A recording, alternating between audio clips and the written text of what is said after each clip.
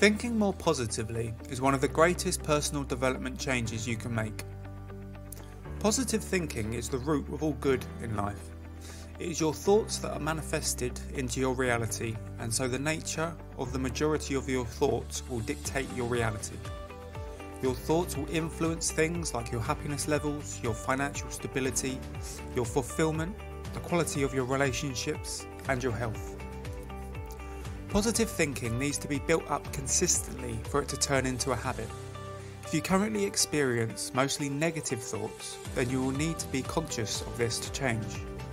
You need to condition yourself to start actually observing your thoughts and realizing them for what they are. As soon as you become conscious of these thoughts, then you can start to consciously make some lasting change.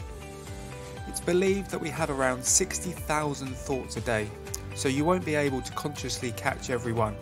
But by consistently conditioning yourself to replace those negatives to positives will have a dramatic impact on your life. In this video, I will explain the five main ways that you can become a more positive thinker. The first way to start to build the habit of positive thinking is to replace negative thoughts. The first step here is to actually become conscious of your thoughts. Most thoughts are subconscious and are not noticed by the conscious part of the mind. The trick is to be aware and observe your thoughts. Not only will you be amazed at the sheer number of thoughts after some time of doing this, but you may also be surprised at the number of negative thoughts. As you start to become aware of these thoughts, start to change the negative thoughts to positive ones.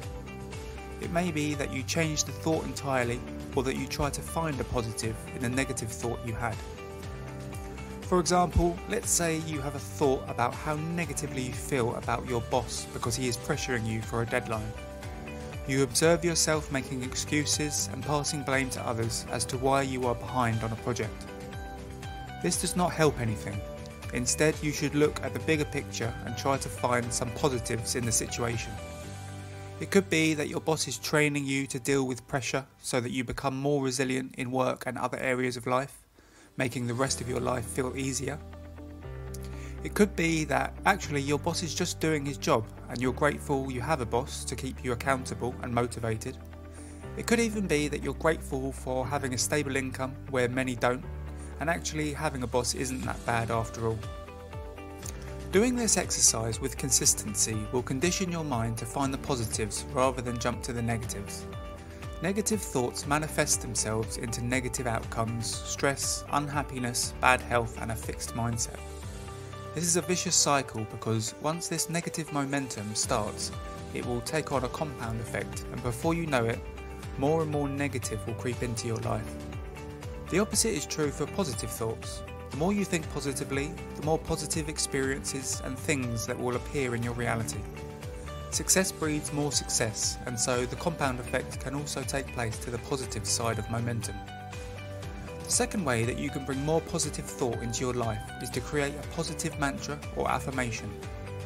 Create a sentence or a few sentences that describe how you would like to be in life, including your positive thinking and habits.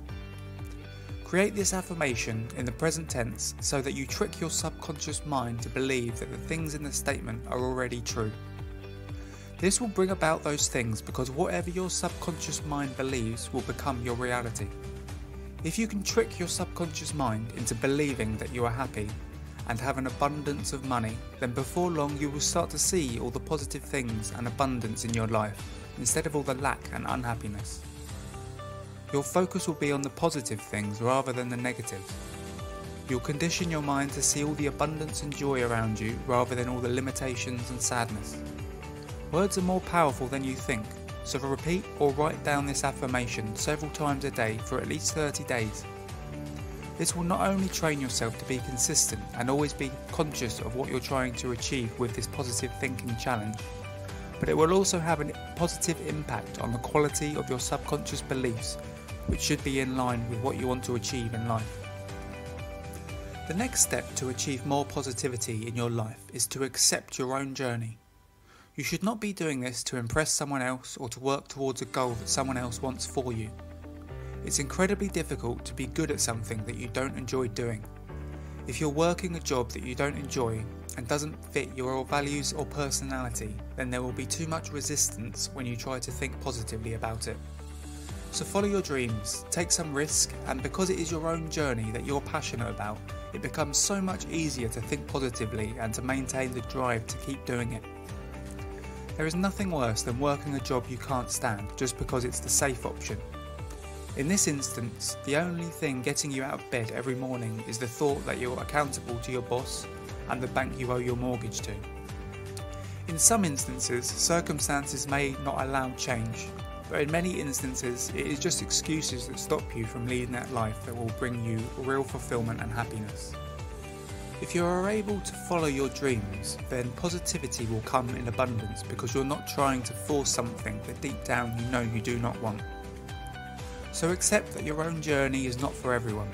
Accept that everyone else will have their opinions about what you're doing, but their opinion will not make you happy. So set goals for yourself and go for them. Doing this will automatically take away many of the negative thoughts you had because dislike for your career is one of the main sources of negativity. The next way to increase your positivity is to be grateful. To practice this, you may want to start a gratitude journal.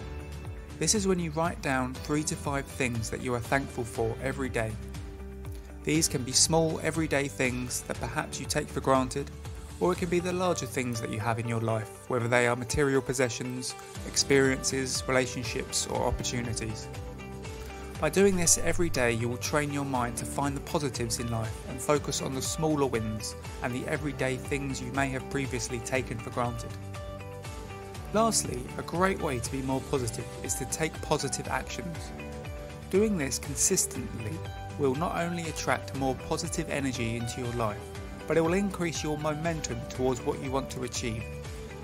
Taking action is a great way to feel accomplished and fulfilled.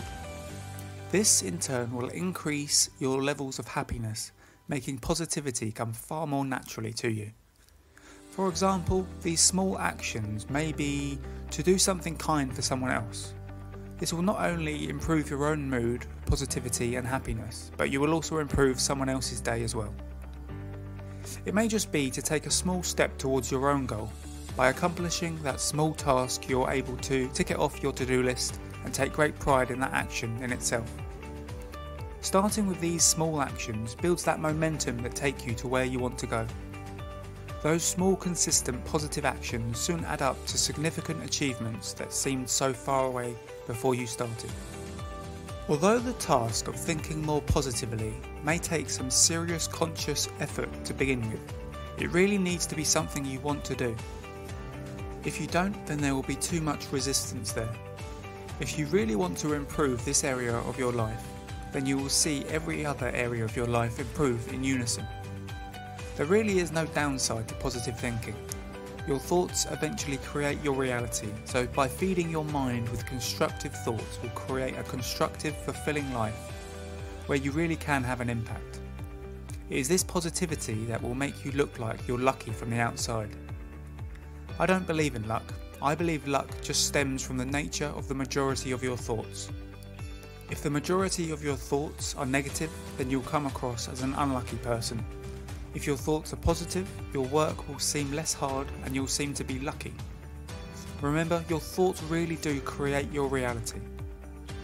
So if you enjoyed this video and found it valuable, please like it and subscribe to Subconscious Theory for more content.